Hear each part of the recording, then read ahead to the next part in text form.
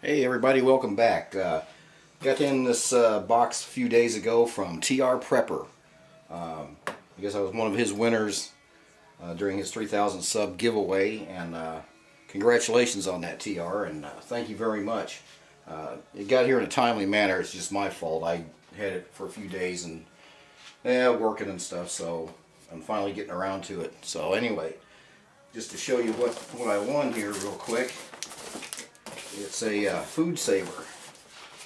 Okay. Which is really awesome. I can definitely use this for sure. Um, I'll go ahead and open it up and then it's not packed a lot of stuff in it then I'll just go ahead and uh, come back and start videotaping again.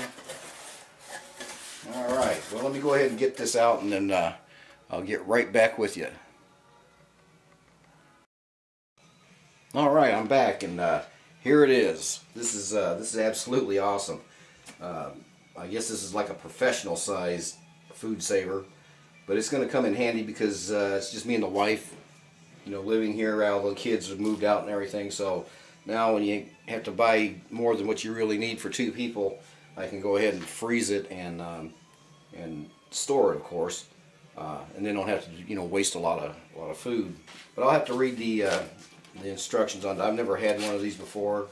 I had a little, uh, I have a little portable one uh, that uh, comes with those Ziploc, you know, freezer storage bags, and it works all right. But sometimes they lose their seal. Uh, they're not like this right here. This is this is top of the line. Uh, it comes with all the uh, the bags right here, which is really nice. Like I said, I'll have to look in there and see about reordering and stuff.